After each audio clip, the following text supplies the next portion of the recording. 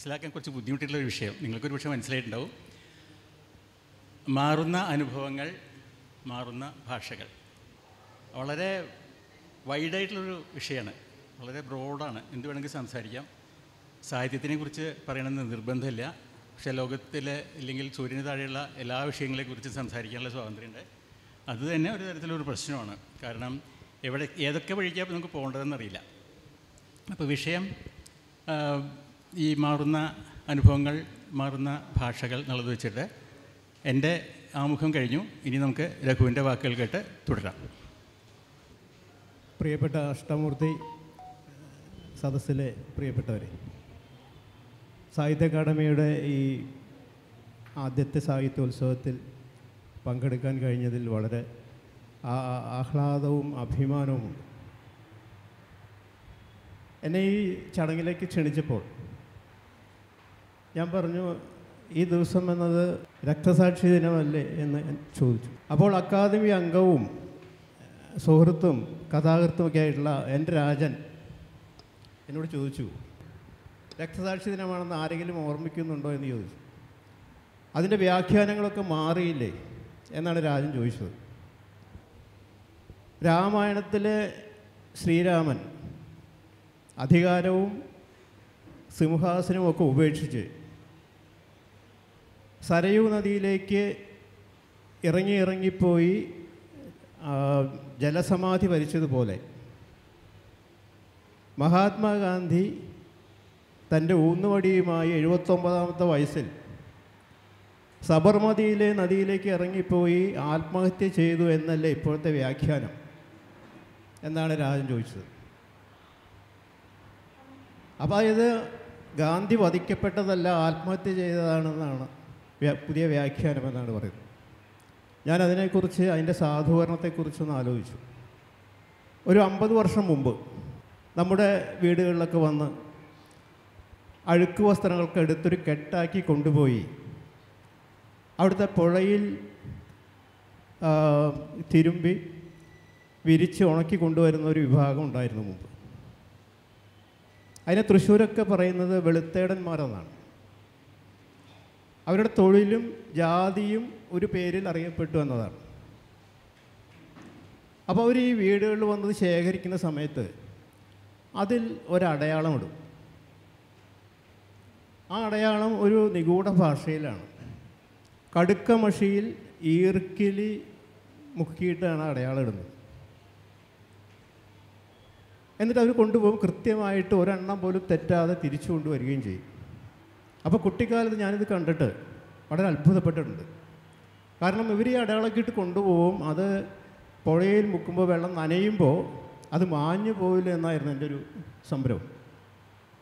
പക്ഷെ എന്നെ അത്ഭുതപ്പെടുത്തിക്കൊണ്ട് അവർ തിരിച്ചു വന്നപ്പോൾ ഈ അടയാളം കൂടുതൽ തെളിയുകയാണ് ഉണ്ടായത്. അതുപോലെയാണ് ഈ ഇന്ത്യയിലെ ഇന്ത്യൻ ഹൃദയത്തിലെ ഗാന്ധിയുടെ സ്ഥാനം അടയാളപ്പെടുത്തിയിട്ടുള്ളത്.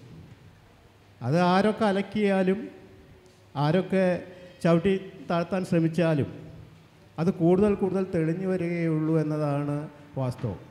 അതുകൊണ്ട് ജനുവരി മുപ്പത് എന്നൊരു ദിവസമുണ്ടെങ്കിൽ അത് രക്തസാക്ഷി തന്നെയാണ് ഗാന്ധി വധിക്കപ്പെട്ട ദിവസം തന്നെയാണ്. അപ്പോൾ അതുകൊണ്ട് ആ രാജന്റെ ആ ഒരു ആശങ്കയിൽ യാതൊരു അടിസ്ഥാനവുമില്ല എന്നാണ് എനിക്ക് പറയാനുള്ളത്. ഇനി നമ്മുടെ ചർച്ചയിലേക്ക് വരുമ്പോൾ അനുഭവങ്ങളുടെ മാറുന്ന അനുഭവങ്ങളാണ്. അപ്പോൾ എന്തായാലും കുറച്ച് വ്യക്തിപരമായ കാര്യങ്ങൾ നമുക്ക് പറയേണ്ടി വരുമെന്ന് തോന്നുന്നു. അപ്പോൾ അത് അഷ്ടമൂർത്തിയുടെ അഷ്ടമൂർത്തിയിലൂടെ അത് തുടങ്ങാം എന്നാണ് ഞാൻ വിചാരിക്കുന്നത്. അഷ്ടമൂർത്തിക്ക് അദ്ദേഹത്തിന്റെ വായനക്കാർ ഇവിടെ ധാരാളം ഉണ്ടായിരിക്കുള്ളതിൽ അവർക്ക് വേണ്ടി കൂടിയാണ് ഞാനിത് ചോദിക്കുന്നത്. അഷ്ടമൂർത്തിക്ക് മൂന്ന് ജന്മങ്ങളുണ്ടെന്നാണ് ഞങ്ങൾ ഞാൻ കാണുന്നത്. പലരും അങ്ങനെ കണ്ടിട്ടുണ്ട്. ഒന്ന് അഷ്ടമൂർത്തി ആറാട്ടുപുഴയിൽ ഉണ്ടായിരുന്ന ഒരു കാലം യൗവനകാലം. അതിനുശേഷം അദ്ദേഹം ബോംബെയിലേക്ക് പോകുന്ന ഒരു കാലം ബോംബെയിലുള്ള കാലം. വീണ്ടും തിരിച്ചു വന്ന് ഇപ്പോഴത്തെ ജീവിതം നയിക്കുന്ന ഒരു കാലം. ഈ മൂന്ന് കാലവും കൂടിച്ചേർന്ന ഒരു വ്യക്തിയാണ് അഷ്ടമൂർത്തി. അദ്ദേഹത്തിന്റെ കഥകളും അദ്ദേഹത്തിന്റെ പ്രധാനപ്പെട്ട നോവലും കഥകളും എല്ലാം ഉണ്ടായത് ആ സമയത്താണ്. അപ്പോൾ ഒരു നാടിനേക്കാൾ മറ്റൊരു നാട് ജന്മഗ്രഹമായ പോലെയാണ് അഷ്ടമൂർത്തിയുടെ കഥകളും കാര്യങ്ങളുമൊക്കെ അക്കാലത്തെ കഥകളിൽ കഥകളുടെ പേരുകൾ തന്നെ നമുക്ക് നോക്കിയാൽ അറിയാം. ഇപ്പോൾ വസന്ത കുർലേക്കർ രോഹിണി ഭട്ട് അതുപോലെ ലാപത്ത എന്ന കഥയിലെ മുഖോപാധ്യായ. ഇങ്ങനെ കേരളവുമായിട്ട് യാതൊരു ബന്ധവുമില്ലാത്ത കഥാപാത്രങ്ങളാണ്. എല്ലാം ബോംബെ ബേസ്ഡാണ് അഷ്ടമൂർത്തി എന്തെങ്കിലും അതിനെക്കുറിച്ച് ചിന്തിച്ചിട്ടുണ്ടോ? അത് അത് യാദൃശ്ചികമായിട്ട് വന്നതായിരിക്കാം. എങ്കിൽ പോലും അതിനെക്കുറിച്ച് ചിന്തിച്ചിട്ടുണ്ടോ എന്നുള്ളതാണ് എന്റെ ചോദ്യം. ഇപ്പം ഞങ്ങളുടെ സെഷന്റെ ഏകദേശം ഒരു ഡയറക്ഷൻ നിങ്ങൾക്ക് മനസ്സിലായിട്ടുണ്ടെന്ന് വിചാരിക്കുന്നു. ഞങ്ങൾ പരസ്പരം ഒന്ന് പുകഴ്ത്തിക്കൊണ്ട് കുറച്ച് സംസാരിക്കാമെന്ന് വിചാരിക്കുന്നു. കാരണം ഞങ്ങൾ രണ്ടുപേരും കാര്യമായിട്ടൊന്നും ആർക്കും അറിയില്ല. അതുകൊണ്ട് രഘുവിനെക്കുറിച്ച് ഞാനും എന്നെക്കുറിച്ച് രഘുവും കുറച്ചൊക്കെ സംസാരിക്കാൻ ഉദ്ദേശിക്കുന്നുണ്ട് എന്തായാലും ഒരു മണിക്കൂർ ഞങ്ങൾക്ക് കിട്ടിയിട്ടുണ്ട്. എന്ന് മാത്രമല്ല അതിൽ ഇടപെടാൻ ആരും ഇല്ല ഇടയിൽ സാധാരണ എനിക്കൊരു മോഡറേറ്ററൊക്കെ വേണ്ടതാണ് ഒരു അധ്യക്ഷൻ വേണ്ട അതൊന്നുമില്ല. അത് കാരണം ഞങ്ങൾക്ക് സർവതന്ത്ര സ്വാതന്ത്ര്യമുണ്ട്. അപ്പോൾ രഘു എന്നെക്കുറിച്ച് പറഞ്ഞത് മൂന്ന് മൂന്ന് ജന്മങ്ങളുണ്ടെന്ന് പറഞ്ഞു. മൂന്ന് ജന്മം ഉണ്ടോ അറിയില്ല അപ്പോൾ ഈ ബോംബെ എന്നെ സംബന്ധിച്ചിടത്തോളം ഞാൻ ചില സ്ഥലത്ത് എന്റെ രണ്ടാം ജന്മദേശം എന്ന് പറഞ്ഞിട്ടുണ്ട്. പക്ഷേ രണ്ടാം ജന്മദേശം എന്ന് പറയുന്നതിനൊരു ശരിയാണോ എന്ന് എനിക്കറിയില്ല. പക്ഷേ എന്നെ സംബന്ധിച്ചിടത്തോളം ബോംബെ എന്റെ രണ്ടാമത്തെ ജന്മം തന്നെയാണ്. ഏകദേശം പന്ത്രണ്ട് വർഷം ഞാൻ ബോംബെയിൽ ജീവിച്ചിട്ടുണ്ട്. ബോംബെയിൽ ജീവിച്ചിട്ടുണ്ടെന്ന് പറഞ്ഞാൽ ബോംബെയിൽ ജീവിച്ചിട്ടുണ്ടെന്നേ അർത്ഥമുള്ളൂ കേട്ടോ. ബോംബെയിൽ ജീവിച്ചാൽ നേടിയെടുക്കാവുന്ന ഒന്നും ഞാൻ അവിടെ നേടിയിട്ടില്ല. കാരണം ഞാൻ അവിടെ വളരെ ഒതുങ്ങിയ ഒരു ജീവിതമായിരുന്നു. ഇന്ന് ചെയ്യുന്ന പോലെ തന്നെ അന്നും ചെയ്തത് ബോംബെയിൽ നിന്ന് നേടാവുന്നതൊന്നും നേടിയില്ല പക്ഷേ ബോംബെ എന്നുള്ള നഗരം എത്രമാത്രം പാസീവായിട്ട് ജീവിച്ചാലും ആ ബോംബെ നമ്മളെ പലതരത്തിലും നമ്മളെ സ്വാധീനിക്കും. ഇപ്പോൾ ഉദാഹരണമായിട്ട് ഞാൻ ഇവിടെ നിന്ന് പോകുമ്പോൾ നമ്മുടെ മനസ്സിലുണ്ടായിരുന്ന പല തെറ്റിദ്ധാരണകളും അഴിഞ്ഞു വീഴും അവിടെ ചെന്ന് കഴിഞ്ഞാൽ തന്നെ. നമ്മുടെ ആനന്ദിന്റെ ആൾക്കൂട്ടത്തിലെ ആൾക്കൂട്ടം വായിച്ചിട്ടാണ് ഞാൻ ഇവിടുന്ന് പോകുന്നത്. ആൾക്കൂട്ടം രണ്ട് പ്രാവശ്യം വായിച്ചിട്ടാണ് ഞാൻ ബോംബെയിൽ കാലുകുത്തുന്നത് അപ്പോൾ അതിൽ തന്നെ ആദ്യത്തെ വാചകം വിക്ടോറിയ ടെർമിനസിൽ ഒരു വണ്ടി വന്നു പറഞ്ഞിട്ടാണ് ആദ്യത്തെ വാചകം. അപ്പോൾ പിന്നെ അവിടെ നിന്ന് ഇങ്ങനെ ആൾക്കൂട്ടമാണ് ആൾക്കൂട്ടം മാത്രമായിട്ടാണ് ആനന്ദ് ഈ ബോംബെ കണ്ടിരിക്കുന്നത്. അപ്പോൾ അതിൽ ജോസഫ് എന്നൊരു കഥാപാത്രമുണ്ട്. ജോസഫ് നാട്ടിൽ നിന്ന് വളരെ വലിയ പ്രതീക്ഷകളൊക്കെ ആയിട്ട് ചെല്ലുന്ന ആളാണ്. പക്ഷെ അവിടെ ചെന്നപ്പോൾ മനസ്സിലായി അയാൾ ഒന്നുമല്ല എന്നുള്ളത് മനസ്സിലായി. ആ ഒരു തിരിച്ചറിവാണ് നമുക്ക് ബോംബെയിൽ ചെല്ലുമ്പോൾ ആദ്യമായിട്ട് നമുക്ക് കിട്ടുന്നത്. അതാണ് ഏറ്റവും വലിയ തിരിച്ചറിവെന്ന് എനിക്ക് തോന്നുന്നു. അപ്പോൾ ഇപ്പോൾ രഘു പറഞ്ഞതുപോലെ എന്റെ ഈ കഥകളെ ബോംബെ ജീവിതം സ്വാധീനിച്ചിട്ടുണ്ടെന്ന് പറഞ്ഞാൽ യാതൊരു അത്ഭുതമില്ല യാതൊരു സംശയമില്ല പക്ഷേ ഈ പറഞ്ഞ പോലെ ഈ ആദ്യത്തെ ജന്മത്തിൽ ഈ ആറാട്ടുപുഴയിൽ ജീവിച്ച ജീവിച്ച് ആറാട്ടുപുഴയിൽ മാത്രമേ ഞാൻ ജീവിച്ചുള്ളൂ എന്ന് വരികിൽ ഞാൻ എഴുത്തുകാരനാവുമോ എന്നുള്ള ചോദ്യം ഉണ്ട് ആയിരിക്കാം ഉണ്ടായിരിക്കാം ഒരു പക്ഷേ ഞാൻ എഴുതിയെന്നും വരാം. പക്ഷേ ഈ ഇന്ന് കാണുന്ന എന്റെ എഴുത്ത് ആവില്ല. ഞാൻ ബോംബെക്ക് പോയിട്ടില്ലായിരുന്നെങ്കിൽ നല്ല കാര്യം ഉറപ്പിച്ച് പറയാം. ഇതൊക്കെ ഒരു ഹൈപ്പോത്തറ്റിക്കൽ ക്വസ്റ്റ്യൻസ് ആണ്. ഇപ്പോൾ വേറൊരു കാര്യം ഞാൻ ബോംബെയിൽ എത്തിയിട്ട് ഞാനൊരു ബി കോം പാസ്സായിട്ട് നേരെ ഇവിടുന്ന് പോയ ആളാണ് അവിടെ ഏട്ടൻ എന്നുള്ള കാര്യം കൊണ്ടാണ് ബി കോംകാർക്ക് ഭയങ്കര ഡിമാൻഡാന്നൊക്കെ വിചാരിച്ചിട്ട് ഞാൻ ബോംബെയിൽ പോയ അപ്പോൾ അവിടെ ചെന്ന് കഴിഞ്ഞിട്ട് എന്റെ ഒരു അഭ്യുതകാംക്ഷി എന്ന് പറഞ്ഞിട്ട് അച്ഛന്റെയൊക്കെ ഒരു കൂട്ടുകാരൻ ഒരു ബാലമേനുണ്ടായിരുന്നു ബാലമേനൻ വളരെ ഇതായിട്ട് അച്ഛന്റെ എന്റെ അച്ഛന്റെ മകനാണല്ലോ എന്നുള്ളൊരു വാത്സല്യം എന്നോട് ഉണ്ടായിരുന്നു അപ്പോൾ ഇടയ്ക്കൊക്കെ ഓഫീസിലേക്ക് ഫോൺ ചെയ്യുക അന്ന് വീട്ടിലൊന്നും ഫോണില്ല. അപ്പോൾ ഇടയ്ക്ക് ഇങ്ങനെ വിളിച്ചിട്ട് കുശലാന്വേഷണങ്ങൾ നടത്തും പിന്നെ കുറേ ഒരു അഞ്ചാറ് മാസത്തേക്ക് ആളെ കണ്ടില്ല. ആൾ വിളിച്ചില്ല. പിന്നെ ഒരു ദിവസം വിളിച്ചിട്ട് പറഞ്ഞു ഞാൻ ഭയങ്കര തിരക്കിലായിരുന്നു. അഞ്ചാറ് പേരെ എനിക്ക് അത്യാവശ്യം ഉണ്ടായിരുന്നു. അന്ന് ഗൾഫ് ബൂം തുടങ്ങുന്ന സമയമാണ് എഴുപത്തി അഞ്ച് എഴുപത്താറ്. അന്ന് തുടങ്ങുക. ഈ ഗൾഫിലേക്കുള്ള ഇവിടുന്ന് കുടിയേറ്റം വലിയ തോതിൽ തുടങ്ങുന്ന സമയം തുടങ്ങി വയ്ക്കുകയാണ് അപ്പോൾ സമയത്ത് ഒരു ആറ് ബികോംകാർ അത്യാവശ്യമായിട്ട് വേണ്ടി വന്നു. അപ്പോൾ ബാലമേനൻ പറഞ്ഞു ഞാൻ ആറ് പേരെ വളരെ ബുദ്ധിമുട്ടിയ ദിവസം കണ്ടുപിടിച്ചിട്ട് ഞാൻ അയച്ചു കഴിഞ്ഞു അതിന്റെ തിരക്കിലായിരുന്നു. അത് പറഞ്ഞു കഴിഞ്ഞ ഉടനെ ആൾ പറഞ്ഞു അഷ്ടമൂർത്തി എന്താ പഠിച്ചേക്കണത്? ഞാൻ ബി കോമാണ് അയ്യോ ഇത് മുമ്പ് പറഞ്ഞു വെച്ചാൽ ഞാൻ ഇപ്പോൾ ഒന്ന് ദുബായിൽ എത്തേണ്ട സമയം കഴിഞ്ഞു. അപ്പോൾ കുറച്ച് സങ്കടം തോന്നി അന്ന്. അപ്പോൾ എന്നോട് പാസ്പോർട്ട് എടുത്ത് വെച്ചിട്ടുണ്ടോ? എന്ന് പാസ്പോർട്ടൊന്നുമില്ല. എന്നാൽ വേഗം പാസ്പോർട്ട് എടുക്കുന്നു. എന്നിട്ട് പാസ്പോർട്ട് പോയി എടുത്തു. പോയില്ല എന്ന് നമുക്കറിയാലോ ഞാൻ പിന്നെ പോയില്ല. അപ്പോൾ ഞാൻ ആലോചിക്കാറുണ്ട് നമ്മുടെ ജീവിതം ഒരുപക്ഷെ ഈ ബോംബെ എന്നുള്ളതുപോലെ തന്നെ ദുബായിലേക്കും പോകാൻ സാധ്യത ഉണ്ടായിരുന്നു ആ അവിടെ ചെന്ന് കഴിഞ്ഞാൽ ഈ പറഞ്ഞ ഞാൻ ബോംബെയിൽ ജീവിച്ചിരുന്ന കാലത്തെ കഥകളാണ് എഴുതുക. ഞാൻ കഥകൾ എഴുതുമായിരുന്നു. ഇതൊക്കെ ഹൈപ്പോത്തിരിക്കലാണ് നമുക്ക് എവിടേക്കോ എന്തൊക്കെയോ വരച്ച് വെച്ചിട്ടുണ്ടെന്ന് തോന്നും. ആ നിലയ്ക്കായിരിക്കാം ഒരുപക്ഷെ എന്റെ ബോംബെ ജീവിതത്തിന് ഞാൻ കാണുന്നത്. ബോംബെ ജീവിതം ഇല്ലായിരുന്നെങ്കിൽ എനിക്ക് സംശയമില്ല. ഞാൻ ഇന്ന് എഴുതിയ ഈ സാഹിത്യം ഇന്ന് എന്റെ വളരെ ചുരുങ്ങിയ എഴുത്ത് ഞാൻ നടത്തിയിട്ടുള്ളൂ.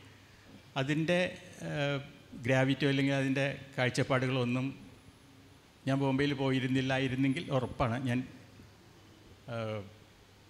എഴുതുമായിരുന്നില്ല. എന്റെ കഥകൾ വേറെ തരത്തിലാകുമായിരുന്നുള്ള ഒരു ഉറപ്പാണ്. നല്ലതോ ചീത്തോ എന്നൊക്കെ പറയാൻ പറ്റില്ല. ഇതുപോലെ തന്നെയാണ് നമ്മൾ ജീവിക്കുന്ന ഈ അനുഭവം മാറുന്ന അനുഭവങ്ങൾ എന്നുള്ള ഒരു വിഷയം. അപ്പോൾ ഈ അനുഭവങ്ങൾ മാറുന്നത് ബോംബെയിൽ ചെല്ലുമ്പോഴാണ്. ഞാൻ പറഞ്ഞില്ല ഒരുപാട് തെറ്റിദ്ധാരണകൾ അഴിഞ്ഞു വീഴുന്നൊക്കെ അവിടെ ചെല്ലുമ്പോഴാണ് ഇന്ന് നമ്മൾ നിസ്സാരണം നമ്മൾ ആരുമല്ല എന്നൊക്കെ മനസ്സിലാക്കുന്ന ഒരു തിരിച്ചറിവ് നമുക്ക് കിട്ടുന്നത് അവിടെ വെച്ചിട്ടാണ്. അപ്പോൾ ഈ ജീവിക്കുന്ന സ്ഥലം നമ്മൾ താമസിക്കുന്ന സ്ഥലം അല്ലെങ്കിൽ ജീവിക്കുന്ന സ്ഥലം വളരെ പ്രധാനമാണ്. നമ്മുടെ ഈ അനുഭവങ്ങൾക്ക് നമുക്ക് അനുഭവങ്ങൾ നമുക്ക് തരുന്നത്. ഈ അനുഭവങ്ങളെക്കുറിച്ച് പറയുമ്പോൾ രഘുവിനെക്കുറിച്ചും പറയാം. രഘു എനിക്ക് തോന്നുന്നത് അങ്ങനെ ഇന്ത്യയ്ക്ക് പുറത്ത് അല്ല കേരളത്തിന് പുറത്ത് അങ്ങനെ ജീവിക്കേണ്ടി വന്നിട്ടില്ല. രഘു ആ കാര്യത്തിൽ വലിയ ഭാഗ്യവാനാണ് ഒരു തരത്തിൽ കാരണം വളരെ സൗകര്യപ്രദമായിട്ടൊരു ജോലി കിട്ടി. കേരളത്തിൽ തന്നെ തുടർന്നു. കേരളത്തിൽ തന്നെ ഇപ്പോഴും ജീവിക്കുന്നു. വല്ലപ്പോഴൊക്കെ ഒന്ന് പുറത്ത് പോയി വരുന്നുണ്ടെങ്കിൽ കഴിഞ്ഞ് കേരളത്തിന് പുറത്ത് ജീവിക്കേണ്ട ഒരു സാഹചര്യം രഘുവിന് വന്നിട്ടില്ല. നല്ലതെന്നോ ചീത്തയെന്ന് അറിയില്ല. പക്ഷേ രഘുവിന് അത് വേണ്ടി വന്നിട്ടില്ല. രഘു തുടക്കത്തിൽ തന്നെ ഒരു പത്രത്തിന്റെ ആളായിരുന്നു. പത്രപ്രവർത്തകനായിട്ടാണ് രഘു കയറി വരുന്നത്. വളരെ പ്രശസ്തനായിട്ടുള്ള ഒരു പത്രപ്രവർത്തകന്റെ മകനാണെന്ന് നമുക്കറിയാം രഘു. ആ പാത പിന്തുടർന്നുകൊണ്ടാണ് തന്നെയാണ് രഘുവും രഘുവിന്റെ ജീവിതം കരുപിടിച്ചത് എനിക്ക് രഘുവിനോട് ചോദിക്കാനുള്ളത് ഈ പത്രപ്രവർത്തനം എന്ന രംഗത്ത് വന്നു പെട്ടില്ലായിരുന്നെങ്കിൽ എന്തായിരിക്കും രഘുവിന്റെ സാഹിത്യം എന്നുള്ളതാണ്. തീർച്ചയായിട്ടും എനിക്ക് തോന്നുന്നത് ഈ രഘുവിന്റെ വളരെ പ്രശസ്തമായിട്ടുള്ള നോവലുണ്ട്. രഘു കുറേ നോവലുകൾ എഴുതിയിട്ടുണ്ട്. രഘു വളരെ ഒരുപാട് നോവലുകൾ എഴുതിയിട്ടുണ്ട്. ഇവരുടെ നിർഭാഗ്യവശാൽ പലരും അത് വേണ്ട പോലെ ഇന്നും വായിച്ചിട്ടില്ല. അപ്പോൾ എനിക്ക് തോന്നുന്നു തൊണ്ണൂറുകളിലേക്കാവും ഒരുപക്ഷെ സമാധാനത്തിന് വേണ്ടിയുള്ള യുദ്ധങ്ങൾ നോവൽ വന്നത്.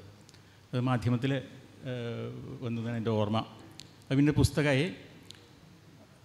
ഒരുപക്ഷെ മലയാള സാഹിത്യത്തിൽ ആദ്യമായിട്ട് ഇന്ത്യയ്ക്ക് പുറത്തുള്ള ഒരു പ്രദേശം നോവലിൽ വരുന്നത് സമാധാനത്തിന് വേണ്ടിയുള്ള യുദ്ധങ്ങൾ എന്നുള്ള നോവലിലാണ്. എന്ന് മാത്രമല്ല അത് എന്റെ ചരിത്ര പശ്ചാത്തലം എന്തായിരുന്നു വെച്ചാൽ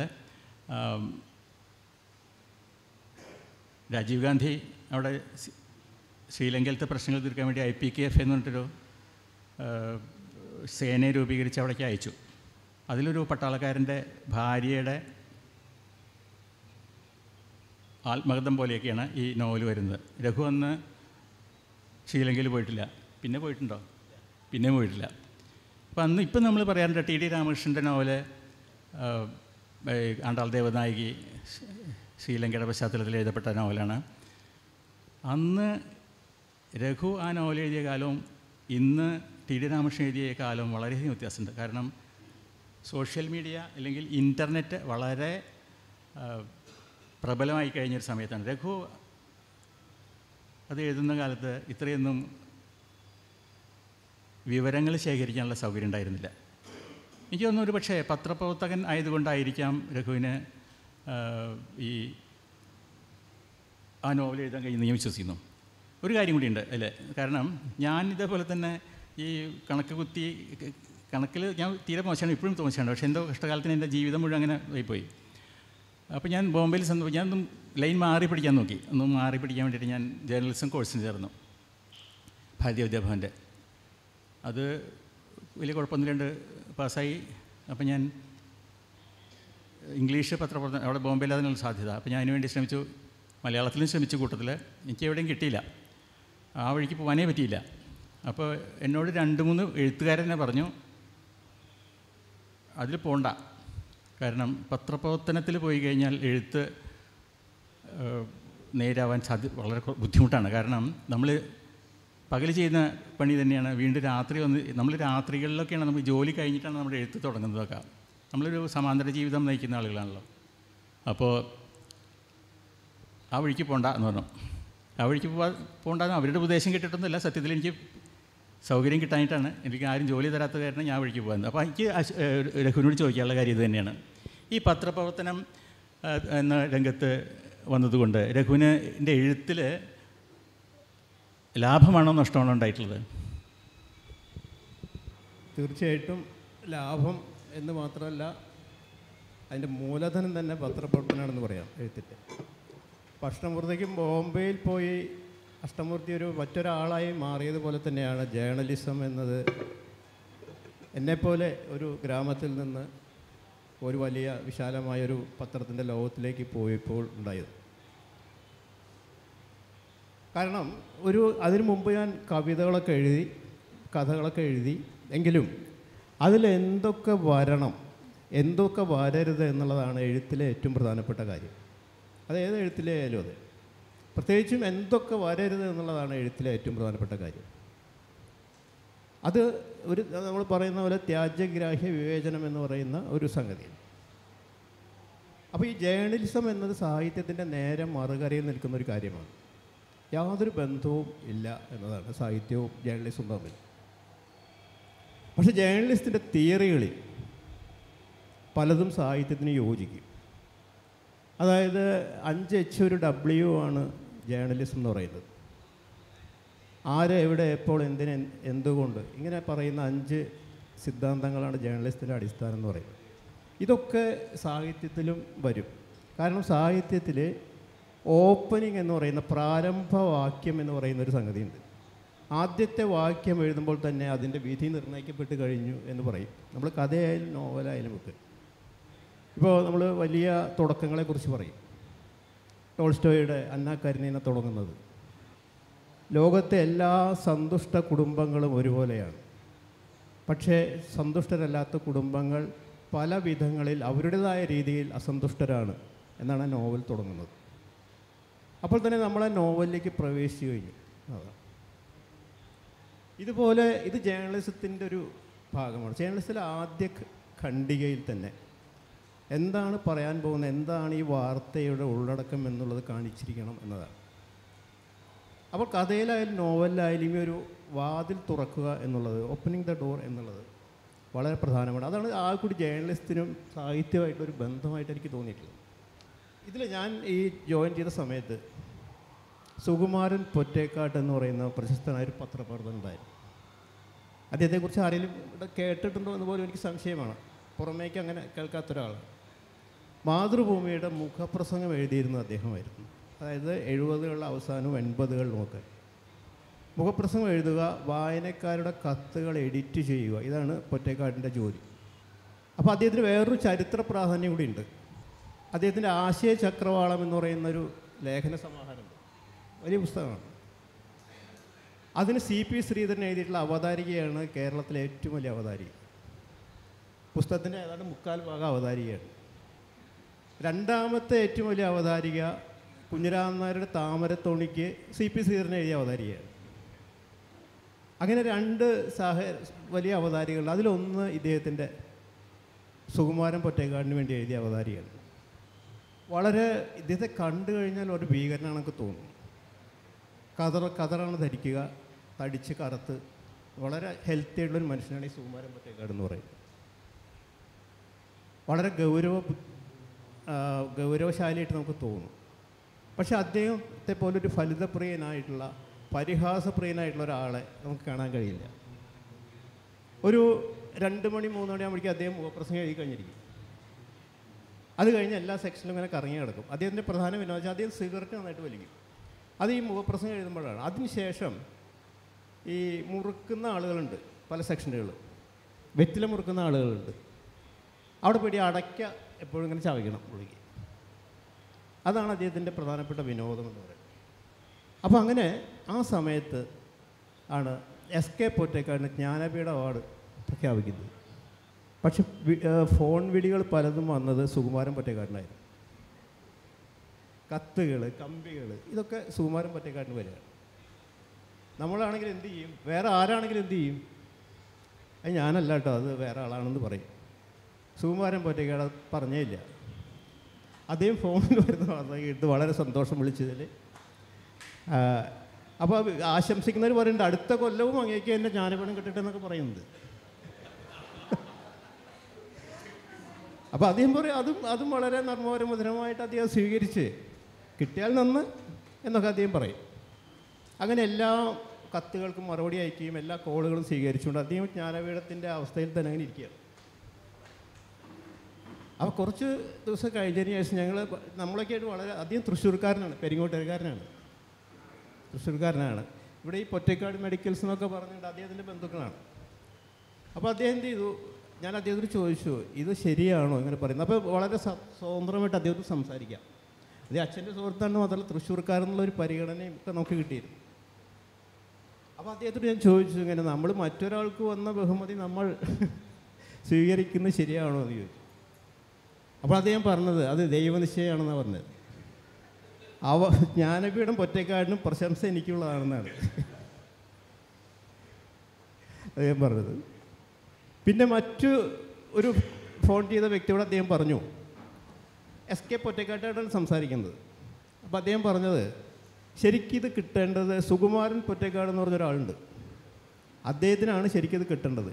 എനിക്ക് നിർഭാഗ്യവശാൽ എന്റെ പേര് അതായതുകൊണ്ട് എനിക്ക് കിട്ടിയെന്ന് മാത്രമേ ഉള്ളൂ എന്ന് പറയുന്ന ഒരു സ്ഥിതിയില്ല. അപ്പോൾ ഞാനിത് പറയാൻ കാരണം ഇത് വിഷയമായിട്ട് ബന്ധമില്ലാത്തൊരു കാര്യമാണ്. പക്ഷേ സുകുമാരൻ പൊറ്റക്കാടിനെ എനിക്ക് മറക്കാൻ കഴിയില്ല. അദ്ദേഹം ഇന്ന് ജീവിച്ചിരിപ്പില്ല. കാരണം ഈ വായനക്കാരുടെ കത്തുകളുടെ എഡിറ്റിംഗ് ഞാൻ കണ്ടുപഠിച്ചൊരു കാര്യമാണ്. എങ്ങനെയാണ് എഡിറ്റ് ചെയ്യേണ്ടതെന്നുള്ളത്. നാല് പേജുള്ള കത്തുകളൊക്കെ അദ്ദേഹം സിഗരറ്റ് ഇങ്ങനെ ചുണ്ടത്ത് വയ്ക്കും എടുക്കില്ല. കത്തിച്ചുകൊണ്ടിരിക്കും ഇങ്ങനെ വലിച്ചുകൊണ്ടിരിക്കും.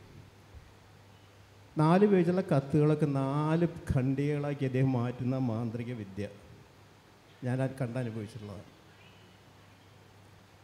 ഇംഗ്ലീഷ് ഇംഗ്ലീഷ് ജേർണലിസ്റ്റിൽ ഇതിന് the magic of blue pencil എന്നാണ് പറയുക എഡിറ്റിങ്ങിന് വിലാസിനെ നന്നായിട്ട് തർജമ ചെയ്തിട്ടുണ്ട് ബ്ലൂ പെൻസിൽ എന്നാണ് പറയുക സ്വല എന്ന പുസ്തകത്തിൽ വിലാസിനെ അത് വളരെ ഭംഗിയായിട്ട് നീല പെൻസിലിന്റെ ഇന്ദ്രജാലം എന്ന് പറഞ്ഞൊരു ചാപ്റ്ററിനുണ്ട് അപ്പോൾ അദ്ദേഹം ഈ ഇതൊക്കെ വെട്ടിയിട്ട് ഇങ്ങനെ എഴുതുന്നതൊക്കെ ഞാൻ ഫയൽ ഇത് സൂക്ഷിക്കുമായിരുന്നു ആ എഡിറ്റിങ്ങിന്റെ ആ ഭംഗി. എങ്ങനെയാണ് വേണ്ടാത്ത ഇന്ന് ഒഴിവാക്കുന്നത് എന്നുള്ള അത് പറയായിരുന്നു.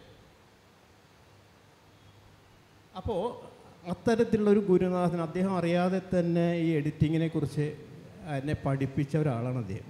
അപ്പോൾ അതുകൊണ്ട് മാസ്റ്റർമൂർത്തി ചോദിച്ചതുപോലെ ഈ ജേർണലിസം എന്ത് തന്നു ചോദിച്ചാൽ എല്ലാം ജേർണലിസമാണ് ഇപ്പോൾ ശ്രീലങ്കയിൽ ആ നോവലിനെ കുറിച്ച് പറഞ്ഞപ്പോഴും ആ നോവൽ പ്രകാശനം ചെയ്ത് സേതുവാണ് അപ്പോൾ സേതു പ്രകാശനം കഴിഞ്ഞിട്ട് എന്നോട് സ്റ്റേജിൽ അധികം സംസാരിച്ചുകൊണ്ട് നിൽക്കുമ്പോൾ തന്നെ ഇങ്ങോട്ട് തിരിഞ്ഞിട്ട് ചോദിച്ചു രഘു ശ്രീലങ്കയിൽ പോയിട്ടുണ്ടോ എന്ന് ചോദിച്ചു. അതേ സംസ പ്രസംഗിക്കുന്നവരിടയിൽ ഞാൻ ഇല്ല എന്ന് പറഞ്ഞു. പക്ഷെ ഞാൻ പോയിട്ടുണ്ട് അവിടെ. അദ്ദേഹം പോയിട്ടുണ്ട്. അദ്ദേഹം രണ്ട് മൂന്ന് തവണ അവിടെ വിസിറ്റ് ചെയ്തിട്ടുള്ള ആളാണ്.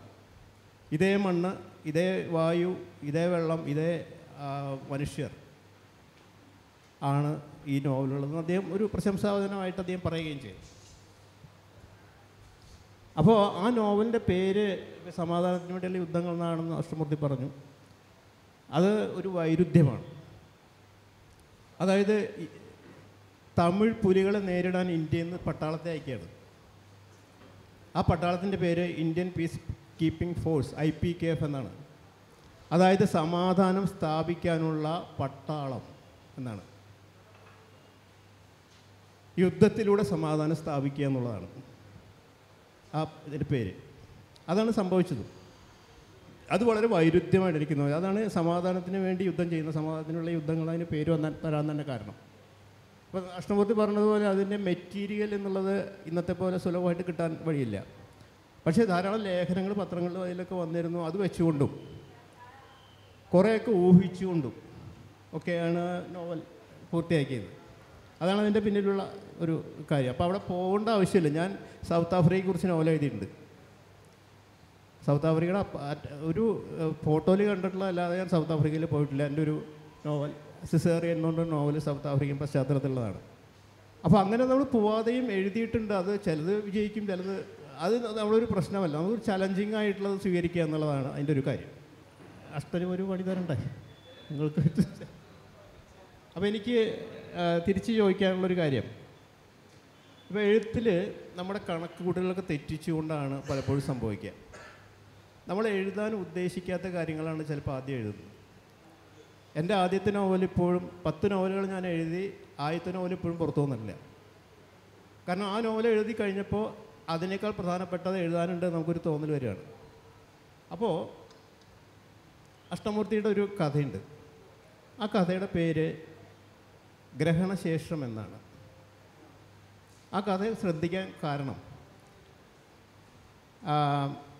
വളരെ സങ്കടപ്പെട്ട് എഴുതിയൊരു കഥയാണ് അത് നഷ്ടമൂർത്തി അതിനെക്കുറിച്ച് പറഞ്ഞു അതായത് ആ കഥ എഴുതുന്നതിന് മുമ്പും എഴുതുമ്പോഴും എഴുതുന്നതിന് ശേഷമൊക്കെ വളരെ സങ്കടത്തോടെ എഴുതിയ കഥയാണ്. ഒരു സ്കൂളിലെ സ്റ്റോർ കീപ്പറുടെ കഥയാണ്. അയാൾ റിട്ടയർ ചെയ്ത് വീട്ടിലേക്ക് വന്നിട്ടും അയാൾക്ക് ആ ജോലിയിൽ നിന്ന് മുക്തി നേടാൻ കഴിയാതെ അയാൾ ആ ആ, സ്കൂളിലേക്ക് വീണ്ടും പോകുന്നൊക്കെയാണ് ആ കഥ. സാധാരണഗതിയിൽ അഷ്ടമൂർത്തി കഥയുടെ ടെക്നിക്സ് ഉപയോഗിക്കാതെ എഴുതുന്ന ഒരാളാണ്. പ്ലെയിനായിട്ട് കഥകൾ എഴുതുന്ന ഒരാളാണ്. അന്നും അതെ ഇന്നും അതെ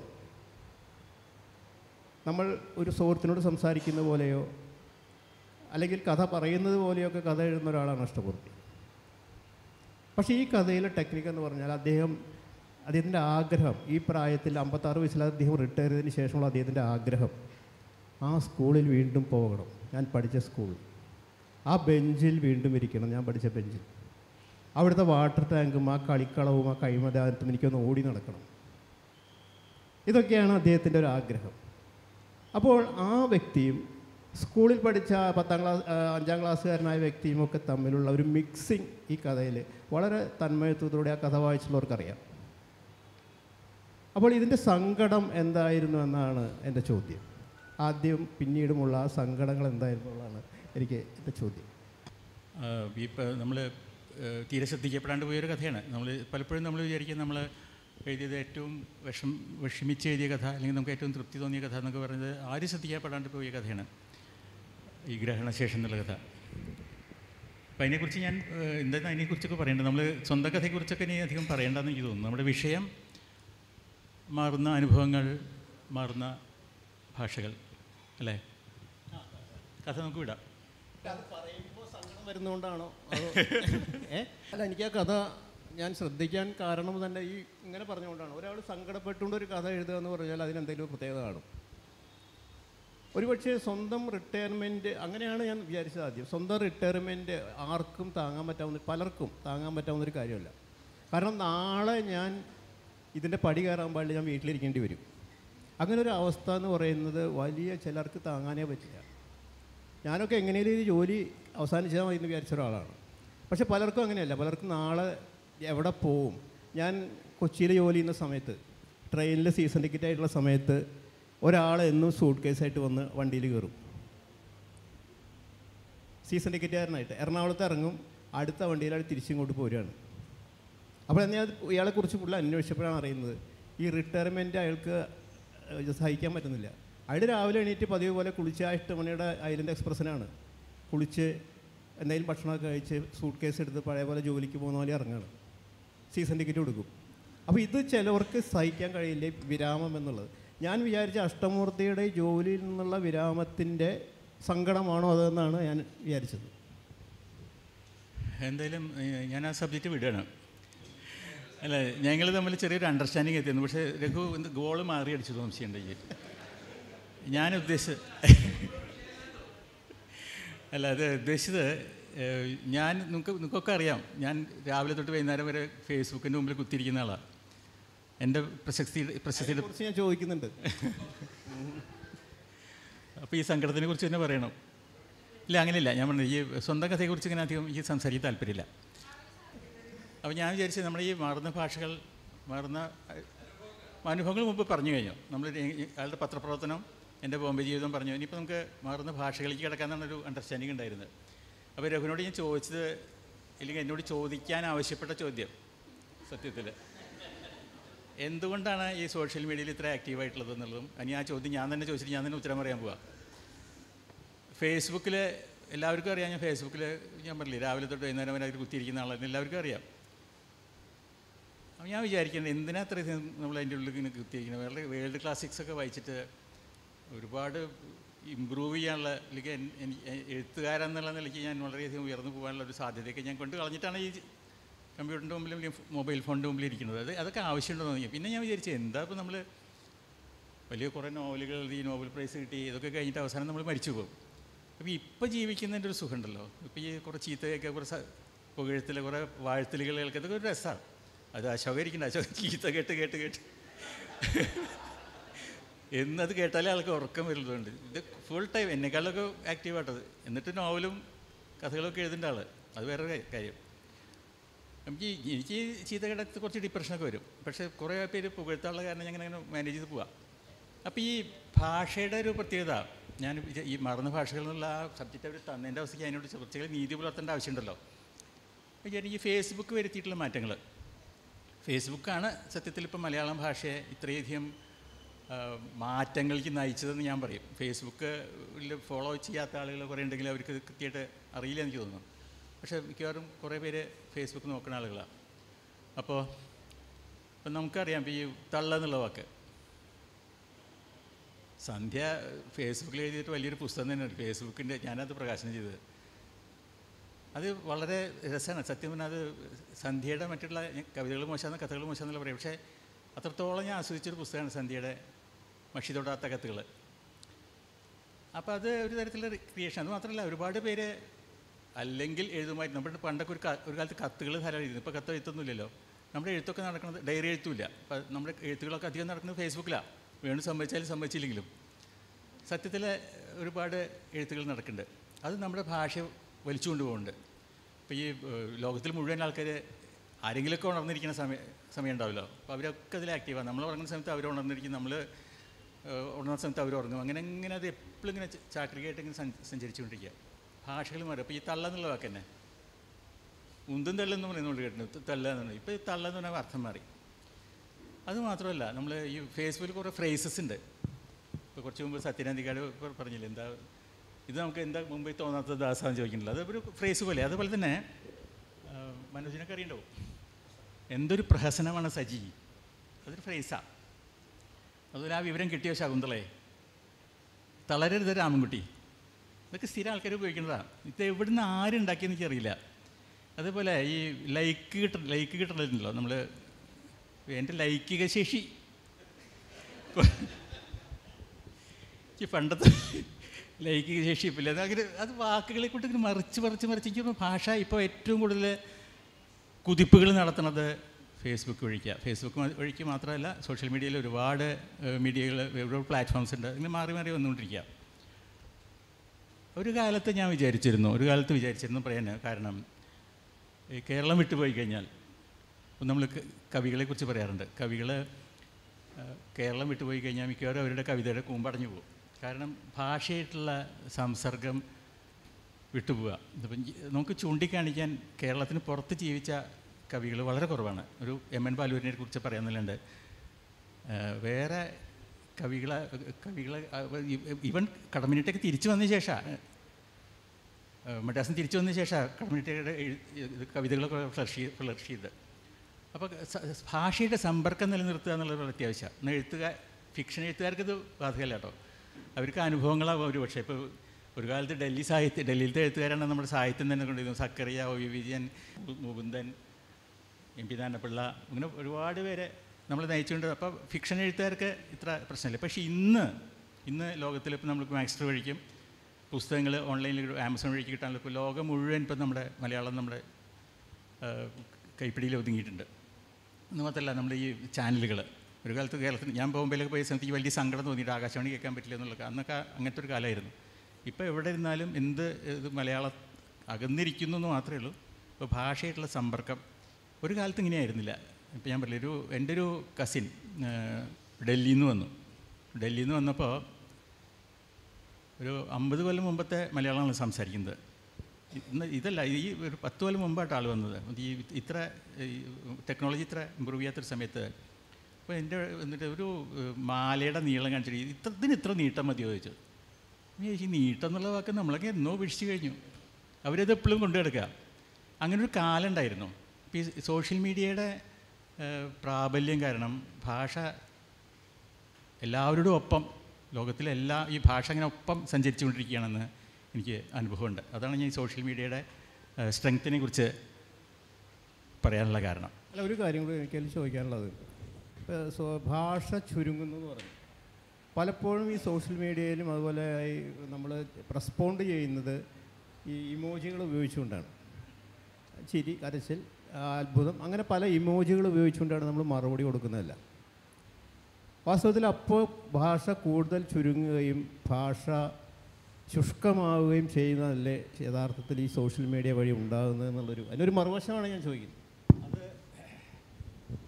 അത് വലിയൊരു ചോദ്യമാണ്. ഈ ഇമോജികൾ നമ്മൾ വളരെ സുലഭമായിട്ട് ഉപയോഗിക്കുന്നുണ്ട് ഇപ്പോൾ പലതിനും നമ്മൾ ഇമോജി മാത്രമായിട്ട് മറുപടി കൊടുക്കാറുണ്ട്. വെറുതെ ഇങ്ങനെ കാണിക്കുമ്പോൾ ഒരു ഹാർട്ട് അയച്ചു കൊടുക്കും ഇല്ലെങ്കിൽ സന്തോഷത്തിന്റെ ചിഹ്നം ചിരി അയച്ചു കൊടുക്കും കരച്ചിൽ അയച്ചു കൊടുക്കും. അങ്ങനെ ഒരു ലോകത്തിന് യൂണിവേഴ്സലായിട്ടൊരു ലാംഗ്വേജ് വന്നിട്ടുണ്ട് ഇപ്പോൾ അത് നല്ലതിനോ ചീത്തയോ ഒക്കെ നമുക്കറിയില്ല. ഒരു കാലത്ത് നമ്മൾ ഈ ബൈബിളിൽ പറഞ്ഞില്ലേ ബാബേൽ ഗോപുരത്തിൽ നമ്മൾ ലോ ഒരു- ഭാഷ മാത്രം സംസാരിക്കുന്ന ഒരു ജനത ബാബേൽ ഗോപുരം പണിതിട്ട് താമസിച്ചപ്പോൾ കർത്താവിന് മനസ്സിലായത് നമ്മൾ തോൽപ്പിക്കാൻ പോകുന്ന അവരെ മുഴുവൻ പിരിച്ചുവിട്ടിട്ട് ഒരുപാട് ഭാഷകൾ അങ്ങനെ നമ്മൾ മനുഷ്യനെ തകർക്കാനുള്ള ഒരു ശ്രമം ഉണ്ടായിട്ടുണ്ട് അന്ന്. മനുഷ്യ ശിഥിലാക്കാനുള്ള മനുഷ്യ ജീവിതം. ഇന്ന് അതിന് നമ്മൾ തിരിച്ചടിക്കണമെന്ന് എനിക്ക് തോന്നുന്നു. ഇപ്പോൾ ചൈനക്കാരനായിട്ട് നമുക്കിപ്പോൾ സംസാരിക്കാൻ പറ്റും.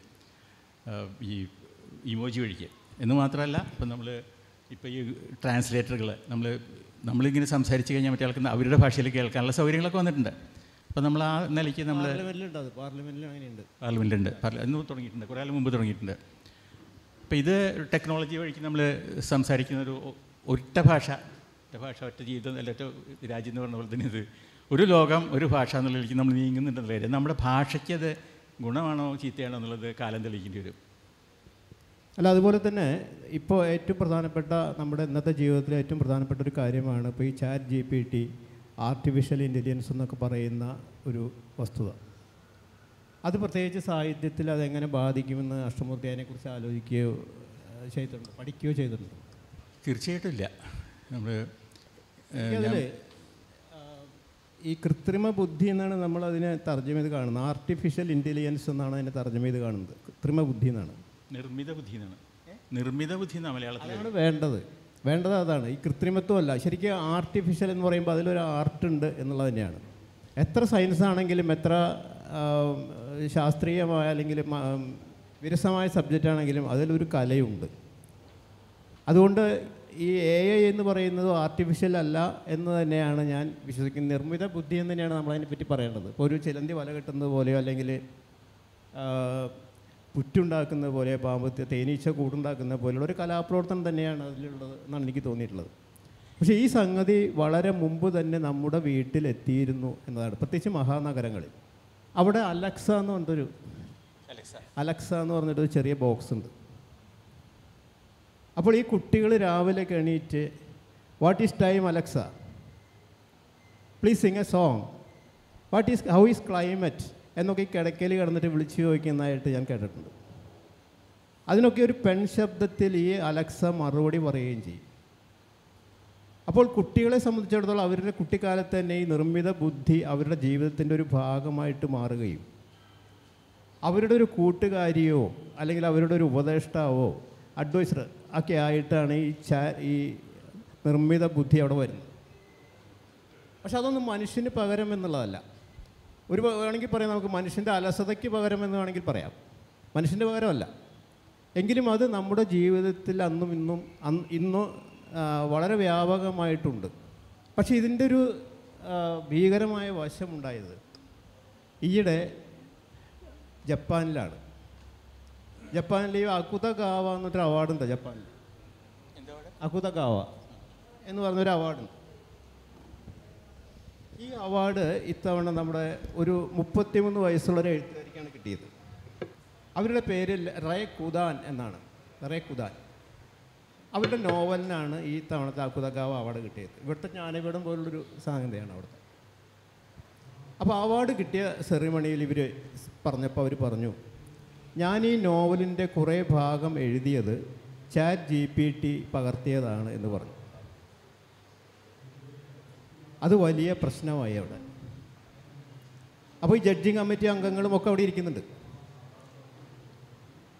എല്ലാവരും വിചാരിച്ചത് ഈ കമ്മിറ്റിക്കാർ അല്ലെങ്കിൽ ഇതിന്റെ ഈ ഉത്തരവാദപ്പെട്ട ആളുകൾ ഈ അവാർഡ് റദ്ദാക്കുമെന്നാണ് വിചാരിച്ചത്.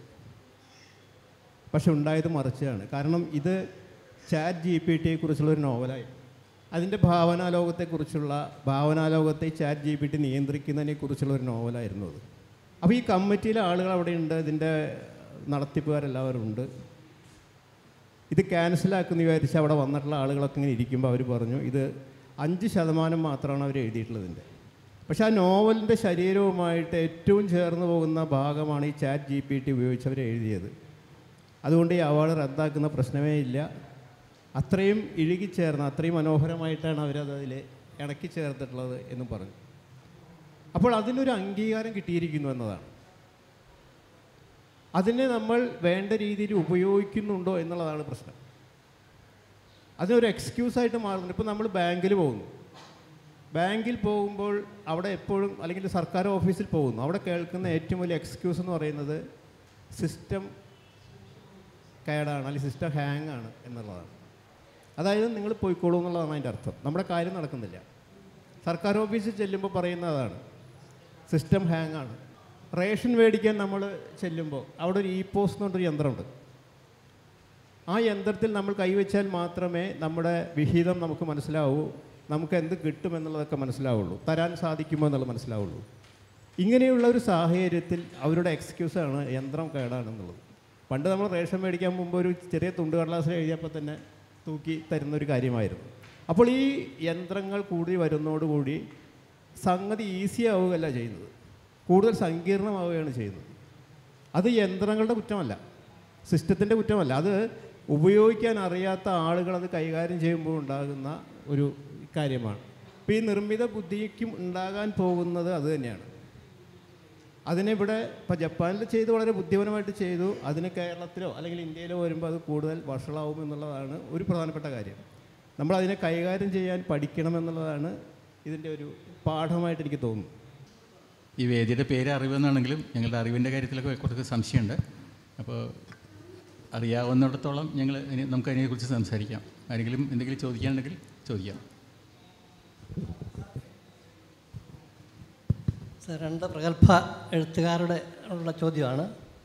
നമ്മൾ ഇത്രയും നേരം വളരെ വിശദമായ കാര്യം ചർച്ച ചെയ്തു. പക്ഷേ ഈ ചർച്ചയിൽ നമ്മുടെ സമകാലിക അവസ്ഥയിൽ നമ്മുടെ രാജ്യവും നമ്മുടെ നമ്മുടെ ജീവിതാവസ്ഥകളും നേരിടുന്ന വളരെ രൂക്ഷമായ പ്രശ്നങ്ങൾ. മിക്കവാറും എല്ലാ വേദികളിലും അതൊരു സംസാര വിഷയം തന്നെയായിട്ടാണ് നമുക്ക് രണ്ടു ദിവസം അനുഭവപ്പെട്ടത്. അപ്പോൾ അത് ഒരു മാറുന്ന അനുഭവങ്ങളാണ്. നിങ്ങൾ രണ്ടുപേരും എഴുതി തുടങ്ങുന്ന അല്ലെ ഇതേവരെ ഈ സമീപകാലം വരെയെങ്കിലും എഴുതിയിരുന്നതിനേക്കാളും വളരെയേറെ വ്യത്യസ്തമായിട്ടുള്ള അതൊരു ഇറ്റ്സ് എ സീ ചേഞ്ച് അപ്പോൾ അത്തരത്തിലുള്ള ഒരു വലിയ വെല്ലുവിളി നേരിടുന്ന ഈ കാലഘട്ടത്തെ എഴുത്തുകാരെന്നുള്ള നിലയ്ക്ക് നിങ്ങൾ എങ്ങനെ നോക്കിക്കാണുന്നു? അത് നിങ്ങളുടെ ഭാഷയെയും നിങ്ങളുടെ വിഷയ സെലക്ഷനെയും നിങ്ങളുടെ രചനാ രീതികളെയും അതെങ്ങനെ ബാധിക്കുന്നു എന്നറിയാൻ താല്പര്യമുണ്ട്. ഭാഷയെക്കുറിച്ച് പറയുമ്പോൾ ഈ ചോദ്യം വളരെ പ്രസക്തമാണ്. മലയാളത്തിലെ സാഹിത്യത്തിൽ ഇപ്പോഴത്തെ ഒരു പ്രധാന പ്രശ്നമായിട്ട് എനിക്ക് തോന്നുന്നത്. അത് കഥയിലായാലും നോവലിലെ കാര്യങ്ങളാണ് ഞാൻ പറയുന്നത് കവിതയിലല്ല ഭാഷ വളരെ നേർത്ത് നേർത്ത് പോകുന്നു എന്നുള്ളതാണ് എനിക്ക് തോന്നിയ ഒരു പ്രശ്നം. ഉദാഹരണത്തിന് ജേർണലിസത്തോട് അടുക്കുന്നു എന്ന് തന്നെ പറയാം ആണെങ്കിൽ കൂടുതൽ ലളിതമാകുന്നു ലളിതമായിട്ട് എഴുതണമെന്നൊക്കെ ആഹ്വാനങ്ങളൊക്കെ ഉണ്ടെങ്കിലും ഭാഷ ജേർണലിസത്തിലേക്ക് പോകുന്നു എന്നുള്ളതാണ്. അപ്പോൾ എല്ലാവർക്കും മനസ്സിലാവും. കാരണം ജേർണലിസം എന്ന് പറയുന്നത് ഭാഷയുടെ ഏറ്റവും അടിത്തട്ടിൽ കിടക്കുന്ന ഭാഷയാണ്. അതിന് താഴേക്ക് പോകാനില്ല അതിന് ലളിതമായിട്ട് എഴുതാൻ സാധ്യമല്ല. അപ്പോൾ ലളിതമാക്കണമെന്ന് പറയുമ്പോൾ ഉണ്ടാകുന്ന ഒരു അപകടം ഈ ഭാഷയിൽ കവി കഥകളും നോവലുകളും രചിക്കപ്പെടുന്നു എന്നുള്ളതാണ്. ഇതിന്റെ ഒരു പ്രശ്നം കുഴപ്പം. മലയാളത്തിൽ ഇപ്പോൾ നമുക്കറിയാം ഒരു ലക്ഷത്തി ചില്ലാൻ ഒന്നര ലക്ഷത്തോളം വാക്കുകളാണ് മലയാളത്തിലുള്ളത്. ഈ ഒന്നര ലക്ഷം വാക്കുകളിൽ നമ്മൾ എത്ര മലയാള പദങ്ങൾ ഉപയോഗിക്കുന്നുണ്ടെന്നുള്ളത് നിങ്ങളൊന്ന് അന്വ ഒരു എണ്ണി നോക്കിയാൽ അറിയാം. വളരെ ചെറിയൊരു ശതമാനം മാത്രമേ നമ്മൾ ഉപയോഗിക്കുന്നുള്ളൂ. ബാക്കി വാക്കുകൾ മുഴുവൻ ശബ്ദധാരാവലിയിൽ മരിച്ചു കിടക്കുകയാണ്. ഇതിന്റെ കാരണം ഈ ലളിതവൽക്കരണമാണ്. ലളിതവൽക്കരണം വെച്ചാൽ മനഃപൂർവം ലളിതമാക്കുന്ന അല്ലെങ്കിൽ മനഃപൂർവം ദുർഗ്രഹമാക്കുന്ന ആ രണ്ട് കാര്യങ്ങളല്ല ഞാൻ പറയുന്നത്. എഴുത്തിന്റെ രീതിയാണ് പറയുന്നത്. അതുകൊണ്ട് ഈ മരിച്ച വാക്കുകളുടെ ശബ്ദധാരാവലി ഒരു ശവകുടീരമായി മാറിയ ഒരവസ്ഥയിൽ ഈ വാക്കുകളൊക്കെ പുനരുജ്ജീവിപ്പിക്കണമെന്നൊരു ഒരു ആഗ്രഹം ചെറിയ ആഗ്രഹം അല്ലെങ്കിൽ അത്യാഗ്രഹം എന്ന് വേണമെങ്കിൽ പറയാം. അതിനുവേണ്ടി ഞാൻ വ്യക്തിപരമായിട്ട് ശ്രമിക്കുന്നുണ്ട്. വ്യക്തിപരമായിട്ട് ശ്രമിക്കുന്നുണ്ട് എന്റെ നോവലിലൂടെ അങ്ങനെ ശ്രമിക്കുന്നുണ്ട്. അപ്പോൾ ഈ പദങ്ങളെ വീണ്ടെടുക്കുക ഈ പദങ്ങളെ വീണ്ടും നമ്മുടെ ഭാഷയിലേക്ക് സജീവമായിട്ട് കൊണ്ടുവരിക എന്നുള്ള ഒരു ഒരു ആഗ്രഹം. അതാണ് എന്നെ സംബന്ധിച്ച് ചെയ്യാനുള്ള ഒരു കാര്യം. ഇത് ഇതേപോലെ തന്നെയാണ്. ഞങ്ങൾ അണ്ടർസ്റ്റാൻഡിൽ ചെറിയൊരു വ്യത്യാസം ഞങ്ങൾ രഘുവിന്റെ നോവലിനെ കുറിച്ച് ഞാൻ ചോദിക്കാൻ തീരുമാനിച്ചിരുന്നു. കാരണം അത് അഞ്ഞൂറ് വർഷം മുമ്പ് എഴുതപ്പെട്ട ചന്ദ്രോത്സവം എന്നുള്ള മണിപ്രാവളകാവ്യത്തെക്കുറിച്ചുള്ള ഒരു നോവലാണ് അജ്ഞാതനാമം. അപ്പോൾ വന്നുകൊണ്ടിരിക്കുന്ന നോവലാണ് അപ്പോൾ അതിന്റെ ഭാഷയെക്കുറിച്ച് ചോദിക്കണം എന്നൊക്കെ വിചാരിച്ചു. പക്ഷേ നമ്മുടെ ഇതിനകത്ത് കണക്ക് തെറ്റിപ്പോയി. അത് അതിൽ ഒരുപാട് സംസാരിക്കുന്ന രഘുവിനെ അതിനെക്കുറിച്ച് ഒരുപാട് സംസാരിക്കാനുണ്ട്. പക്ഷെ എനിക്ക് തോന്നുന്നത് ഇനിയിപ്പോൾ നമ്മൾ അതിലേക്ക് പോകണ്ട. നമുക്ക് കാണികളുടെ ഭാഗത്തു നിന്നുള്ള ചോദ്യങ്ങളിലേക്ക് തന്നെ പോവാം. ഈ ചോദ്യത്തിനുള്ള ശരിക്കും ഉത്തരമാണോ കിട്ടിയെന്ന് എനിക്ക് അറിയില്ല കേട്ടോ. അല്ല അല്ല അല്ല അല്ല. എനിക്കറിയാം. ഇതിപ്പോൾ നമ്മൾ രാജ്യം നേരിടുന്ന അവസ്ഥയിൽ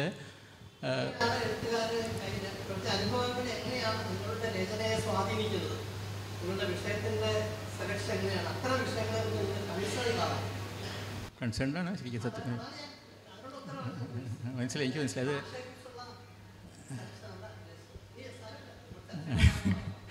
അത്രയൊന്നും ഗൗരവമായിട്ട് സാഹിത്യത്തിന് എടുത്തിട്ടില്ല സത്യം പറഞ്ഞാൽ. പിന്നെ അത് മാത്രമല്ല എനിക്ക് പറയാനുള്ളതൊക്കെ ഞാൻ കഥകളെ കൂടി പറയാൻ കുറച്ച് ബുദ്ധിമുട്ടാണ്. ഞാൻ ഈ പറഞ്ഞില്ലേ എന്റെ ഈ പലപ്പോഴും ഉള്ള പ്രതികരണങ്ങളൊക്കെ ഈ പ്ലാറ്റ്ഫോമിൽ തന്നെയാണ്. അത് പലപ്പോഴും കുറച്ച് രൂക്ഷമായിട്ടൊക്കെ വരാറുണ്ട്. ഈ ഫേസ്ബുക്ക് എന്നുള്ള പ്ലാറ്റ്ഫോമിൽ ഒരുപാട് ശകാരങ്ങൾ കേൾക്കാറുണ്ട്. അങ്ങനെ പെട്ടെന്ന് പ്രതികരിക്കാൻ എനിക്ക് കഥയെ കൂടി പറ്റില്ല. കഥയോ നോവലോ എനിക്ക് ഇപ്പോൾ ഇപ്പോൾ ഇന്ത്യ നേരിടുന്ന അങ്ങനെ വലിയ വലിയ എഴുത്തുകാർക്ക് അത് ചെയ്യാൻ കഴിയ കഴിയേണ്ടതാണ്. അതാണ് ശരിക്കും നമ്മൾ ചെയ്യേണ്ടതും. പക്ഷെ എന്നെ സംബന്ധിച്ചിടത്തോളം ഞാൻ അത്രയ്ക്കുള്ള കരുത്തുള്ള ഒരു എഴുത്തുകാരനല്ല. അപ്പോൾ എനിക്ക് ചെയ്യാവുന്ന ഈ ചെറിയ ചെറിയ ചില കാര്യങ്ങൾ എനിക്ക് അതിർത്തി തോന്നുന്നത് അല്ലെങ്കിൽ എനിക്ക് ഭയങ്കര എതിർപ്പ് തോന്നുന്നത് ഇല്ലെങ്കിൽ നമ്മുടെ രാജ്യത്തിനെക്കുറിച്ചുള്ള കുറേ ആശങ്കകളൊക്കെ ഞാൻ ഫേസ്ബുക്ക് കൂടി എന്റെ ചെറിയ ചെറിയ വാചകങ്ങളിൽ കൂടെ പ്രതികരിക്കാറുണ്ട്. അതിന്റെ കാരണം എന്താണെന്ന് വെച്ചാൽ ഇപ്പോൾ ഈ പ്രിന്റഡ് മീഡിയയ്ക്ക് വലിയൊരു കുഴപ്പമുണ്ട്. പ്രിന്റഡ് മീഡിയ നമ്മളിത് വന്നു കഴിഞ്ഞാലും ഒരു പ്രതികരണം ഒരിക്കലും കിട്ടില്ല. വല്ലപ്പോഴും കിട്ടും മിക്കവാറും കിട്ടില്ല. അപ്പോൾ ഇത് പെട്ടെന്ന് നമുക്ക് അപ്പം തന്നെ കിട്ടും. കൊടുത്ത കൊല്ലത്ത് കിട്ടും പറഞ്ഞ പോലെ പെട്ടെന്ന് കിട്ടും അപ്പോൾ നമുക്ക് നമ്മുടെ കൂടെ ഒരു ജനത നമുക്ക് നമ്മുടെ ഒപ്പമുണ്ടെന്ന് തോന്നും. അപ്പോൾ അവരെ അവരുടെ സ്പന്ദനങ്ങൾ നോക്കിയാൽ തന്നെ നമുക്കറിയാം നമ്മുടെ നമ്മൾ ആരുടെ കൂടെ സഞ്ചരിക്കുന്നത് അല്ലെങ്കിൽ എവിടേക്കാണ് പോകുന്നത് നമുക്കൊരു ഒരു പൾസ് കിട്ടാൻ വഴി കിട്ടാറുണ്ട്. അതുകൊണ്ട് ഞാൻ മിക്കവാറും എന്റെ അത്തരം ആശങ്കകളൊക്കെ ഞാൻ ഇത്തരം ചെറിയ ചെറിയ ചില നോട്ടുകളിൽ കൂടിയൊക്കെയാണ് ചെയ്യാറ്. കഥ ഇതിനു വേണ്ടി ഇല്ലെങ്കിൽ കഥയെ നോവലൊക്കെ ഇതിനു വേണ്ടി ഉപയോഗിക്കുന്ന വലിയ എഴുത്തുകാർക്ക് കഴിയുന്നതായിരിക്കാം. അവർ ചെയ്യേണ്ടതുമാണ്. എന്നെ സംബന്ധിച്ചിടത്തോളം അത് അത്രയ്ക്കൊന്നും ഒരു കാതൽ എന്നെ എന്റെ എഴുത്തിലില്ല എന്നാണ് എന്റെ വിശ്വാസം. അതാണ് എനിക്കുള്ള മറുപടി. എനിക്ക് രണ്ട് സംശയങ്ങളാണ്. നമസ്കാരം. ഒന്ന് ഒരു സഹായം എനിക്ക് ചെയ്യാൻ പറ്റുമായിരുന്നു. അതാണ് ആദ്യം പറയാനുള്ളത്. അദ്ദേഹം ആ തുടക്കത്തിൽ തന്നെ ശ്രീ അഷ്ടമൂർത്തി പറഞ്ഞ ഈ രഘുനാഥനും അഷ്ടമൂർത്തിയും അത്ര പ്രശസ്തരല്ല. ഇവിടെ ഹോൾ നിറയ്ക്കാൻ പറ്റണില്ല എന്നുള്ളത്. അതിനൊരു സൂത്രം ഉണ്ടായിരുന്നു അത് രഘുനാഥന്റെ അടുത്ത് തന്നെ നടക്കുന്ന കാര്യങ്ങളായിരുന്നു. രഘു ആലോചിച്ചില്ല. ഒരു ചെറിയ കാര്യം പറഞ്ഞാൽ സമയം എടുക്കുന്നില്ല. ഈ പണ്ട് സായിപ്പ് വന്നിട്ട് കഥകളി കാണാൻ വരുമ്പോഴേ സായിപ്പിന്റെ അടുത്ത് ഒരു നിറഞ്ഞ സദസ്സിൽ വെച്ച് കഥകളി കണ്ട് കഥകളിയൊക്കെ ഇഷ്ടമായി. അപ്പോൾ സായിപ്പിനോട് ചോദിച്ചു എങ്ങനെ ഉണ്ടായിരുന്നു എന്ന്. അപ്പം സായിപ്പ് പറഞ്ഞ ഇംഗ്ലീഷിൽ പറഞ്ഞാണ് എനിക്ക് ഇംഗ്ലീഷ് അറിയാത്തതുകൊണ്ട് ഞാൻ മലയാളത്തിൽ പറയാം മറുപടി. സായിപ്പ് പറഞ്ഞ് കഥകളിയൊക്കെ നന്നായി. പക്ഷെ അതിനേക്കാൾ കൂടുതൽ എനിക്ക് ഏറ്റവും ഇഷ്ടപ്പെട്ടത് ആ ആസ്വാദനം. നിങ്ങളുടെ ആ നിങ്ങളുടെ നാട്ടിലുള്ള ആൾക്കാരുടെ ആ ഒരു അച്ചടക്കവും ആസ്വാദനത്തിന്റെ അതും എനിക്ക് വളരെ ഇഷ്ടമായി. എല്ലാവരും വളരെ സൈലന്റ് ആയിട്ടിരുന്നിട്ട് സായിപ്പ് ചുറ്റും നോക്കി. അതും എന്റെ അടുത്ത്. ഒരേപോലെ ക്രോപ്പ് ചെയ്തിട്ട് ഒരേപോലെ കൈ പിടിച്ചിട്ട് വളരെ അലർട്ടായിട്ടിരിക്കുന്ന ആ അവസ്ഥ വളരെ നന്നായി എന്ന് പറഞ്ഞു. അപ്പോൾ അങ്ങനെയുള്ളൊരു ആസ്വാദകരെ ഇവിടെ വരുത്താൻ രഘുനാഥന്റെ തൊട്ടപ്പുറത്തുള്ള രാമവർമ്മപുരത്ത് പറഞ്ഞാൽ നടക്കുമായിരുന്നു. പിന്നെ രണ്ടാമത്തെ മനസ്സിലായി കാണും ഈ അന്ന് ഈ വേഷം മാറിയ പോലീസുകാരാണ് വന്നിരുന്നത്. അപ്പോൾ ഈ സായിപ്പിന് മോശം വരണ്ടെന്ന് വിചാരിച്ചിട്ട് മഫ്റ്റിയിൽ രണ്ടാമത്തേത് എനിക്കൊരു സങ്കടം എന്താണെന്ന് വെച്ചാൽ അഷ്ടമൂർത്തി പറഞ്ഞു ഈശ്വരൻ ഈശ്വരൻ ഉണ്ടല്ലോ അല്ലേ? ഈശ്വരന്റെ ഒരു കളിയാണ്. കാരണം ആ ബാലമേനോന്റെ അടുത്ത് നേരത്തെ പോയിരുന്നുവെങ്കിൽ അറിഞ്ഞിരുന്നെങ്കിൽ ആടുജീവിതം അഷ്ടമൂർത്തി എഴുതുമായിരുന്നു. അതൊന്ന്. പിന്നെ എനിക്കൊരു ചോദ്യമുള്ളത് എന്താണെന്ന് വെച്ചാൽ ഈ എന്റെ അനുഭവത്തിൽ എല്ലാ പുസ്തകങ്ങളും വായിച്ചു എന്ന് പറയുന്നില്ല. പക്ഷേ അഷ്ടമൂർത്തിയുടെ കഥകളും ഇപ്പോൾ അടുത്ത കാലത്ത് വന്ന ക്യൂറേറ്ററും വായിച്ചപ്പോൾ ഈ ദക്ഷിണാമൂർത്തി സ്വാമിയുടെ പാട്ട് കേൾക്കണ പോലെ എനിക്ക് തോന്നുക. കാരണം ആദ്യം വളരെ പ്ലെയിൻ ആയിരിക്കും. ഒരു ഗമ വലിയ പ്രശ്നങ്ങൾ ഇപ്പം മറ്റേ ഈ ഇതിൽ പറഞ്ഞ സംഗതി അങ്ങനെയൊന്നുമില്ല. പക്ഷേ വളരെ ലൈറ്റായിട്ട് കേട്ട് കുറച്ച് വീണ്ടും നമ്മൾ കേട്ടിട്ട് നമ്മളതൊന്ന് പാടാൻ ശ്രമിച്ചു നോക്കിയാൽ മനസ്സിലാവും അതിന്റെ ബുദ്ധിമുട്ട് എന്താണെന്ന് വെച്ചാൽ എല്ലാറ്റിലും അങ്ങനെയാണ്. അത് തുടക്കത്തിൽ ഈ പാട്ടിനെ കുറിച്ച് ഞാൻ കൂടുതൽ പറഞ്ഞു പോകുന്നില്ല. എന്ന പോലെയാണ് അദ്ദേഹത്തിന്റെ ഒരു ശൈലി. ഒരു നിർമ്മലമായ പുഴ പോലെയാണ് അടിയിൽ കിടക്കുന്ന വെള്ളാരങ്ങളിൽ വരെ നമുക്ക് കാണാം. പക്ഷേ നമ്മൾ അതിലൊന്ന് ഇറങ്ങിക്കഴിഞ്ഞ് കയറി വരുമ്പോഴാണ് നമ്മൾക്ക് എന്തെങ്കിലും ഒരു അവസാനം ആലോചിച്ച് നോക്കിയാൽ ഈ വെള്ളാരങ്കല്ലിന്റെ അടുത്തൊരു വിശിഷ്ടമായ സാധനം കിട്ടും. അതുപോലെയാണ് അനുഭവം. അപ്പോൾ അങ്ങ് ഇങ്ങനെ ഒരു ഋജുവായി എന്ന് തോന്നുന്ന രീതിയിൽ പ്ലെയിനായിട്ട് എഴുതി ഉള്ള രീതിയിലുള്ള ഈ ഈ രചനാ ശൈലി അങ്ങ് എങ്ങനെയാണ് സ്ഥാപിച്ചിരുന്നത്? അതായത് ഇങ്ങനെയുള്ള കഥകൾ ഒരു പക്ഷേ ഞാൻ തുറന്നു പറയാണ് ഇങ്ങനെയുള്ള കഥകൾ ആദ്യകാലത്ത് ചെന്ന് കഴിഞ്ഞാൽ ഒരു പത്രാധിപർക്ക് ഇതിലെന്താണ് ഉള്ളതെന്ന രീതിയിൽ തോന്നുന്ന അല്ലെ എങ്ങനെയാണ് പിടിച്ച് എസ്റ്റാബ്ലിഷ്ഡ് ആകാൻ കഴിഞ്ഞത്? അതാണ് ചോദ്യം. കാരണം ആ ഞാൻ കഥ മോശമെന്നല്ല പറയുന്നത്. ഇനി രഘുനാഥനോടും കൂടി ചോദിക്കാതിരിക്കുന്ന ഒരു കാര്യമുണ്ട്. രഘുനാഥൻ എന്ന് പറയുന്നതേ അദ്ദേഹം ഒരു ഭയങ്കര സാധനമാണ്. അപ്പോൾ ഈ രഘുനാഥന്റെ ഒരു പ്രത്യേകത എന്താ വെച്ചാൽ നേരത്തെ പറഞ്ഞ അഷ്ടമൂർത്തി അത് സൂചിപ്പിച്ചു പോയി. ഞാൻ നോക്കിയിട്ടുള്ളത് ഈ ഈ ദ്വന്ദ്ങ്ങളുടെ പ്രയോഗം തന്നെ ഉണ്ട്. അദ്ദേഹത്തിന്റെ പുസ്തകങ്ങളുടെ പേര് നേരത്തെ പറഞ്ഞ സമാധാനത്തിന് വേണ്ടിയുള്ള യുദ്ധങ്ങൾ രണ്ട് ദ്വന്ദ്ങ്ങൾ ശബ്ദായ മൗനം ഇങ്ങനെയൊക്കെയാണ് അദ്ദേഹത്തിന്റെ ഒരു ഇത്. പിന്നെ ഞാൻ ഒരിക്കലും അദ്ദേഹത്തിന്റെ സിസേറിയൻ വായിച്ചിട്ട് ഞാൻ പറഞ്ഞത് ഇത് എങ്ങനെ അപ്പോൾ എനിക്ക് തോന്നി ഇദ്ദേഹം ഈ നേരത്തെ പറഞ്ഞ സീസൺ ടിക്കറ്റ് എടുത്ത് പോയിട്ട് പരിചയമുണ്ട് എനിക്ക്. അപ്പം ആ സീസൺ ടിക്കറ്റ് കഴിഞ്ഞ് തൃശ്ശൂർ വന്നല്ലാണ്ട് ഈ ആഫ്രിക്കയിൽ നിന്ന് പോകാൻ സാധ്യതയില്ല എന്ന് എനിക്ക് തോന്നി. അപ്പോൾ എങ്ങനെയാണ് ഇത്ര സ്ട്രീറ്റ് വരെ കഴിഞ്ഞ് ഇന്നിപ്പോൾ ഈ ഗൂഗിളൊക്കെ ഉള്ളതുകൊണ്ട് ബുദ്ധിമുട്ടില്ല. പക്ഷെ നേരത്തെ പറഞ്ഞ തൊണ്ണൂറിലെ ശ്രീലങ്ക ആവിഷ്കരിക്കുന്നില്ല? അതേപോലെ ഇപ്പം നേരത്തെ പറയാൻ വിട്ടുപോയി നിർത്തിവെച്ച വെച്ച നമ്മുടെ അജ്ഞാതനാമ.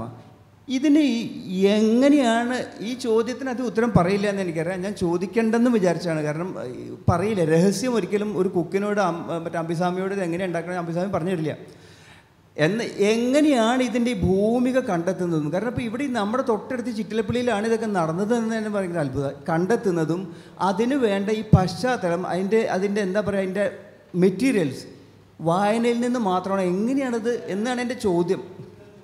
നടക്കുമോ അറിയില്ല. എന്നാലും ഇത് രണ്ടേ ഉള്ളൂ രണ്ടുപേരോടും ഇപ്പോൾ നമുക്ക് നമുക്കുള്ള പ്രശംസയല്ലേ? ഇതിപ്പോൾ മനോജിന്റെ നമുക്ക് വരവഹിക്കല്ലേ രഘു?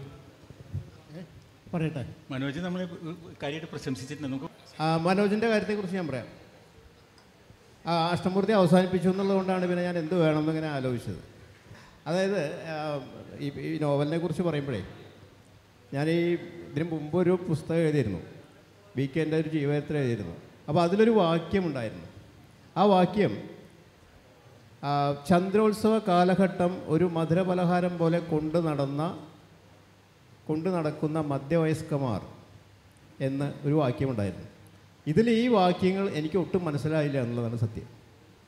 ഇതിലെ മൂന്ന് കാര്യങ്ങളും എനിക്ക് ഒട്ടും മനസ്സിലായില്ല. എന്താണ് ചന്ദ്രോത്സവം എന്നോ എന്താണ് ആ കാലഘട്ടമെന്നോ എന്താണ് മധുരപലഹാരമെന്നോ ഒന്നും എനിക്ക് മനസ്സിലായില്ല. അതിൽ നിന്നാണ് ഇതിന്റെ ഒരു തുടക്കം. അത് കുറേ പറയാനുണ്ട്. അതുകൊണ്ട് ഇനിയും ആളുകൾ പോകുന്നതിന് മുമ്പ് അതൊന്ന് ഞാൻ പറഞ്ഞു എന്ന് മാത്രമേ ഉള്ളൂ. അതാണ് അതിന്റെ അത് കുറച്ച് വിശദീകരിച്ച് പറയേണ്ട കാര്യമാണ്. ഒറ്റവാക്കിൽ പറയേണ്ട ഒരു സംഗതിയല്ല. പിന്നെ ഞങ്ങൾ പറഞ്ഞു വന്ന അതിനൊന്ന് കൺക്ലൂഡ് ചെയ്യുകയാണെങ്കിൽ ഇപ്പോൾ എ ഐയുടെ കാര്യം പറഞ്ഞ് കൺക്ലൂഡ് ചെയ്യാമെന്ന് വിചാരിക്കുകയാണ്. അതായത് ആ, നമ്മളതിന്റെ ഭീകരാവസ്ഥയെക്കുറിച്ചാണ് ചർച്ച ചെയ്തത് ഇപ്പോൾ ചർച്ച നടക്കുന്നത് എ ഐയുടെ നിർമ്മിത ബുദ്ധിയുടെ. കഴിഞ്ഞ ദിവസം ഫ്രാൻസിൽ ഒരു സംഭവം ഉണ്ടായി. ആ സംഭവം നമ്മുടെ എല്ലാവരുടെയും മോണോലിസയുടെ മുഖത്തേക്ക് സൂപ്പ് ഒഴിച്ചൊരു സംഭവമാണ്. അവിടുത്തെ കർഷകരുടെ സമരം നടക്കുകയാണ് അവിടെ. വിളവിന് വിളവിന് കൂടുതൽ വില കിട്ടാൻ വേണ്ടിയിട്ടും അതിന് നിയമസാധുത കിട്ടാനൊക്കെ വേണ്ടിയിട്ട് സമരം നടക്കുകയാണ് ഫ്രാൻസിൽ അതിനെ പിന്തുണ പ്രഖ്യാപിച്ചുകൊണ്ടാണ് രണ്ട് യുവതികൾ വന്നിട്ട് ഈ മോണാലിസയുടെ മുഖത്ത് സൂപ്പ് ഒഴിക്കുന്നത്.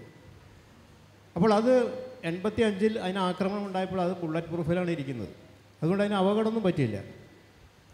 അതിന് ആറു മാസം മുമ്പ് വാൻഗോഗിന്റെ പ്രശസ്തമായ സൂര്യകാന്തി പൂക്കൾ എന്ന് പറയുന്ന പെയിന്റിങ്ങിന്റെ നേർക്ക് ഇതുപോലെ സൂപ്പ് ഒഴിക്കലുണ്ടായി. പക്ഷെ അതിന് ബുള്ളറ്റ് പ്രൂഫൊന്നും ഇല്ലാത്തതുകൊണ്ട് ആ ചിത്രത്തിന് കേടുപാടുകൾ പറ്റി. ഇതുപോലെ മനോഹരമായ പ്രൊട്ടസ്റ്റുകൾ മോണാലിസയെ പോലെയും അല്ലെങ്കിൽ സൂര്യകാന്തി പൂക്കളെ പോലെയും ഉള്ള മനോഹരമായ പ്രൊട്ടസ്റ്റുകൾക്കും ഈ നമ്മുടെ നാട്ടിൽ നമ്മുടെ ഭാവനയിൽ അല്ലെങ്കിൽ സങ്കല്പത്തിൽ സ്ഥാനമുണ്ട്. ഇത് ഒരു നിർമ്മിത ബുദ്ധി കൊണ്ട് സാധിക്കുന്ന കാര്യമല്ല. ഇത് മനുഷ്യബുദ്ധി കൊണ്ട് മാത്രമേ സാധിക്കൂ. അപ്പോൾ ആ സൗന്ദര്യാത്മകത ഒരിക്കലും ഒരു ആർട്ടിഫിഷ്യൽ ഇന്റലിജൻസിനോ അതിനോ കഴിയില്ല എന്ന് മാത്രം പറഞ്ഞുകൊണ്ട് മനുഷ്യബുദ്ധിക്ക് തന്നെ പ്രാധാന്യം കൊടുത്തുകൊണ്ട് അതിനെ ഓർത്തുകൊണ്ടാണ് ഇത് അതിന്റെ സൗന്ദര്യാത്മകതയെ ഓർത്തുകൊണ്ടാണ് ഇത് കൺക്ലൂഡ് ചെയ്യാമെന്ന് ഞാൻ വിചാരിക്കുന്നു. ഈ ആദ്യത്തെ സാഹിത്യോത്സവം അക്കാദമി നടത്തുന്ന ആദ്യത്തെ സാഹിത്യോത്സവത്തിൽ പങ്കെടുക്കാൻ കഴിഞ്ഞതിലും അതിന് ക്ഷണിച്ചതിലും സാഹിത്യ അക്കാദമിയോട് ഏറ്റവും കൃതജ്ഞത രേഖപ്പെടുത്തുന്നു. നമസ്കാരം. താങ്ക് യു സർ മാറുന്ന അനുഭവങ്ങൾ മാറുന്ന ഭാഷകൾ എന്ന വിഷയത്തിൽ നമ്മളോടൊപ്പം പങ്കുചേർന്ന അഷ്ടമൂർത്തി സാറിനോടും കെ. രഘുനാഥൻ സാറിനോടും ഹൃദയം നിറഞ്ഞ നന്ദി രേഖപ്പെടുത്തുന്നു. ഇതിനോടൊപ്പം ഈ ചർച്ചയിൽ നമ്മളോടൊപ്പം പങ്കുചേർന്ന എല്ലാ ശ്രോതാക്കൾക്കും നന്ദി രേഖപ്പെടുത്തുന്നു.